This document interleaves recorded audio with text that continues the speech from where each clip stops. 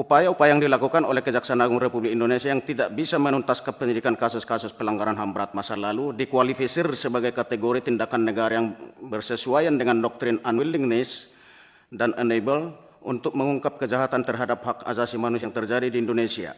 Baik doktrin unwillingness dan enable bila terjadi dalam suatu negara terhadap penuntasan kasus pelanggaran HAM berat, maka jurisdiksi ICC berlaku bagi negara tersebut dan artinya bisa dibuktikan bahwa negara dimaksud tidak serius dalam menyelesaikan kasus-kasus pelanggaran HAM berat masa lalu yang terjadi.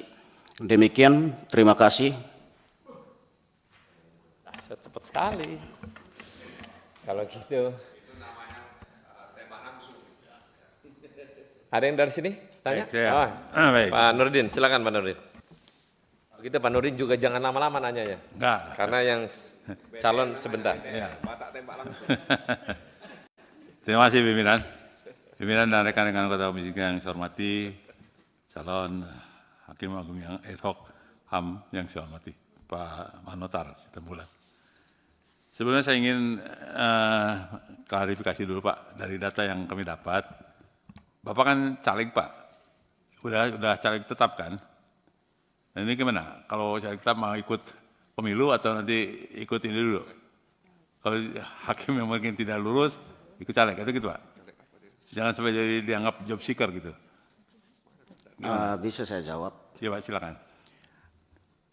Setelah saya mengikuti beberapa seleksi dan terakhir eh, wawancara di KY, saya sudah tidak punya aktivitas lagi untuk di eh, partai begitu, Pak. Oh, baik, giringannya lagi ya. Baik, terima kasih Pak.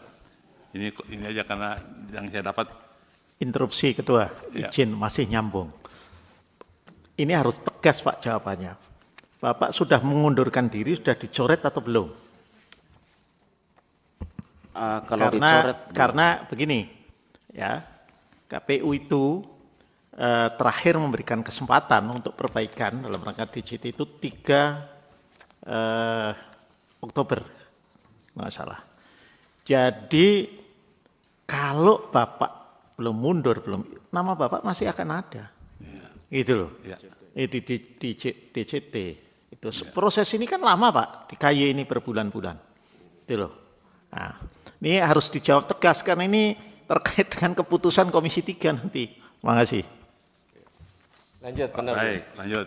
Saya pikir ketua juga kalau memang benar mengundurkan diri kan harus ditampakkan surat di sini atau gimana, ada administrasinya. Nah, jawab dulu Pak. Udah mundur apa belum?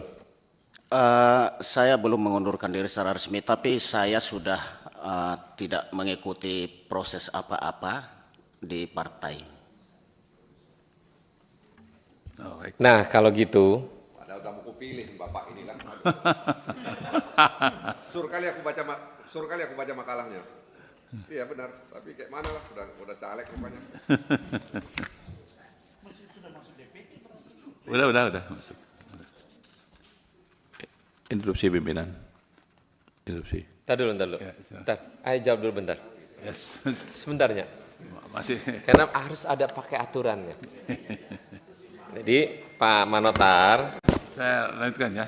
terkait dengan peraturan Komisi Yudisial nomor 1 tahun 2022 tata cara seleksi calon hakim ad hoc hak asasi manusia di Mahkamah Agung ada pasal 4 nomor 2 ayat 2 itu dinyatakan surat pernyataan tidak menjadi pengurus dan anggota partai politik.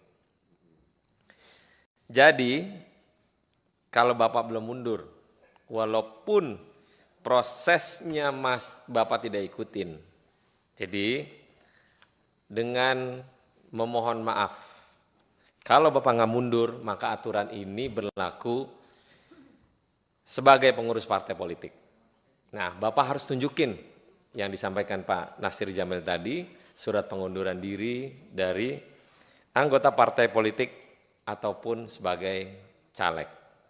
Nah, kira-kira teman-teman mohon tambahan. Pim- Pimpinan. Ya, Pak Wida, Pak Wiyadi. Ya.